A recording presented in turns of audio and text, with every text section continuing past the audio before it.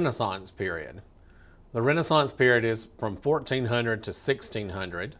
I'm sure many of you remember from a world history class in high school or maybe here at Georgia Highlands that we often define the Renaissance by a one word definition, and that's rebirth. The Renaissance has an intellectual awakening to occur during this period of time, and a lot of that is due in part to the discoveries that are made from two ancient civilizations, the ancient Greek and the ancient Roman culture. The ancient Greek culture is going to impact music a great deal, but maybe the musicians are a little slow to the take of this rebirth of this intellectual awakening because the discoveries with the ancient Greek culture are greatly going to impact the Baroque period, the period that follows the Renaissance. So, what's going to happen with music during this 200 year period of time is that we're going to perfect the music that's already in existence, perfect the forms that are already in existence. So, at the end of the medieval period, we had developed the new texture of polyphony through the form of the organum, and then the most important form, the motet. So the Renaissance is really going to be all about the motet. And I'm going to take a look at the Renaissance through a couple of composers focusing on church music from the Renaissance.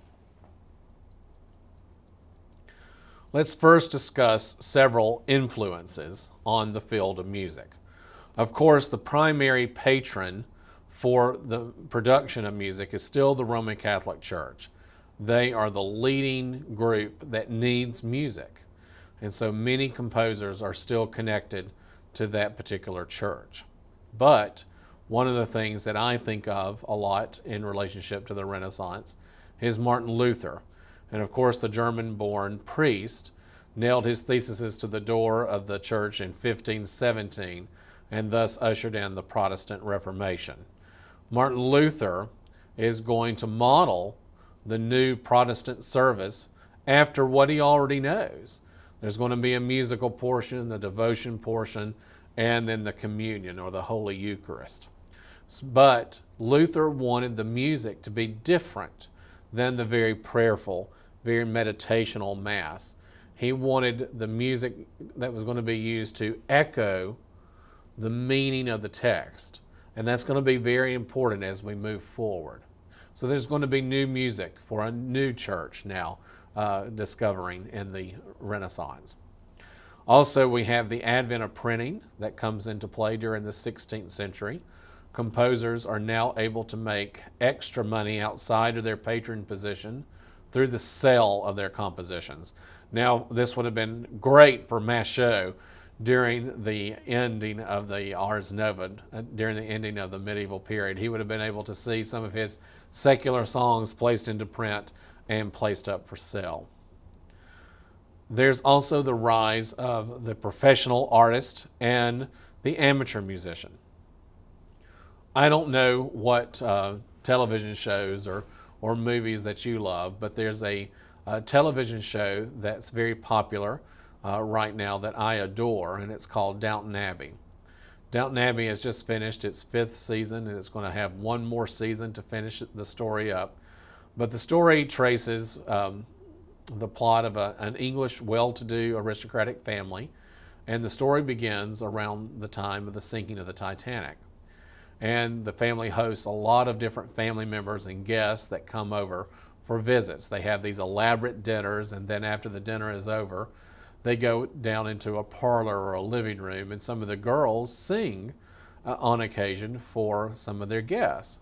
Well, that's what was happening in the Renaissance. A lot of uh, middle class families and uh, higher had children who learned instruments or learned to sing, and then they would purchase these compositions because of the advent of printing. They would learn this music, and then they would perform it for the guests. Well, let's say you're a composer uh, living in 1550, and so you've finished off of a few popular songs and you rush down to your local market, you have it put into print and put up for sale. And then you go back in a month's time to collect your check. But you notice as you enter that there's four of those songs that are still on the shelves collecting dust. but then the other one is sold out. So you start to wonder, well, why was that one so popular? Why were the others obviously a failure? Well, that's because that one probably had a very memorable, very popular, very sweet sound to it. These amateur and professional musicians are going to purchase music that they love, that they do not mind spending the time to learn and perfect and then perform again and again and again. So, this is going to change the focus of the composer's mentality as they're putting together a piece of music. Music prior to this had a very primal, very earthy nature to it.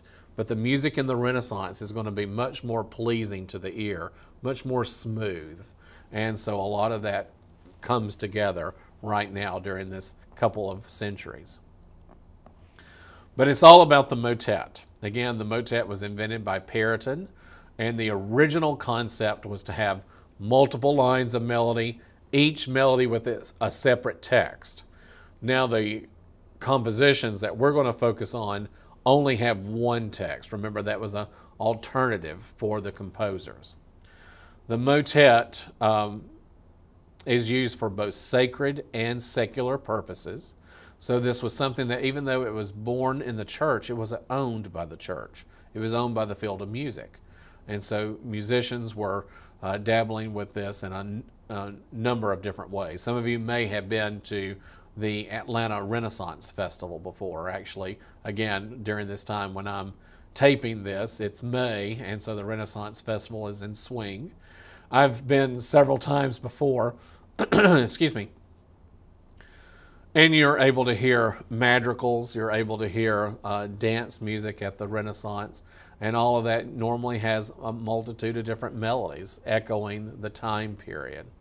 And so that was the, just the new spirit of the time. People are trying to make music more memorable and more perfect for the listener's ear. So that's what's driving the period. I wanted to take a look at two composers. Now, when we were moving from 1999 to 2000, there were all these different lists that were generated. The 100 best rock songs of all time, the 100 best movies of all time. I guess classical music didn't want to be left behind, and they put together a list. And it was uh, the 25 most influential composers, or something to that nature. What I liked about the book was that they didn't rank the composers. They just put them into chronological order so that you could see who was influencing whom as we move through uh, the different generations. And the first two people in that list are the two composers that I want to mention to you today. The first one is Josquin de Prez. Josquin de Prez was born sometime in the decade of 1440 to 1450. He came from a very um, well to do and influential family. So it's interesting that better records were not kept. But I've seen all kinds of birth years for him throughout that decade, and he passed away in 1521. Josquin um, was so famous during his own lifetime that he was known by merely his first name. So you know a lot of popular artists today that just have one name. Well, Josquin was one of the first. Josquin um, was loved by one particular person, one particular uh, composer, and that person was Martin Luther. Luther was the composer of some of the first cantatas for the uh, Protestant church, and he tried to model his composing after that of Josquin, and he's quoted as saying, Josquin is master of the notes, which must express the notes must express what he desires, while other choral composers must do what the notes dictate. So Luther was a big fan and thought that uh, Josquin had a certain knack of putting his music together. Josquin was born in Burgundy, which is today modern day Belgium, and again, he was from an affluent background. So he was a composer who didn't need to worry about finding a patroned position. So that allowed him a lot of freedom during his lifetime, and he traveled a lot.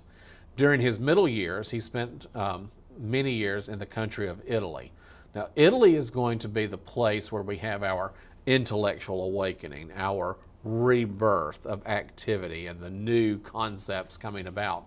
at the beginning of the Baroque period. So Josquin is about 100 years ahead of that. So he's on the cusp of the change that's coming along.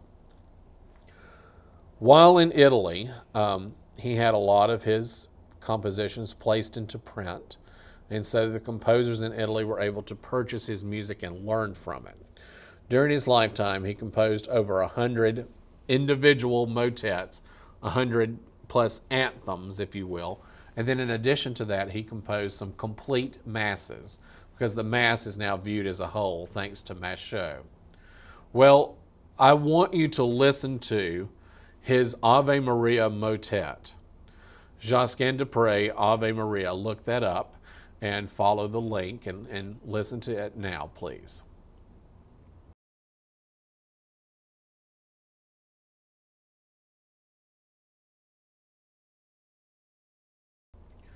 Hopefully, what you have heard by listening to this is that there's moments within the motet where you hear kind of a round like setting.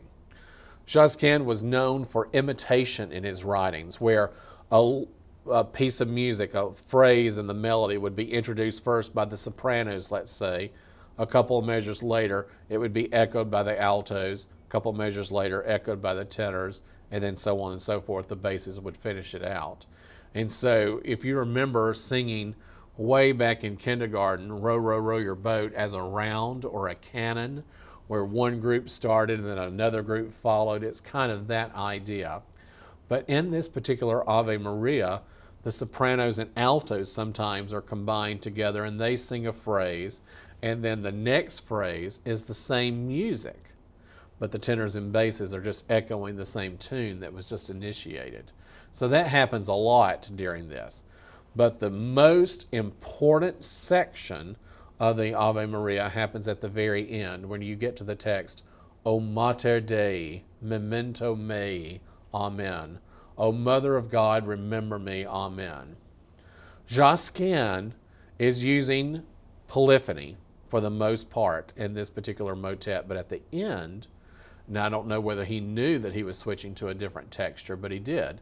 He switched totally to homophony where the main melody was in the top voice and all the other voices then became harmony lines in support of this. And they sing the same syllable at the same time. And so the text becomes so clear. It has such great clarity that it reaches the listener and they can understand the text. And this was earth shattering to the Italians. They thought, oh, this is, this is wonderful the text, you can understand it. And that's going to be something that drives music for a, a, number of centuries is the text or the words. So some of these things, these influences are laid down first by Josquin. After Josquin's passing in 1521, we have a few years now where Martin Luther has been around um, with his Protestant Reformation. And the Roman Catholic Church has been losing a lot of members. And so the church is going to rail against that and form a committee. And so that's where I want to take up in our next section.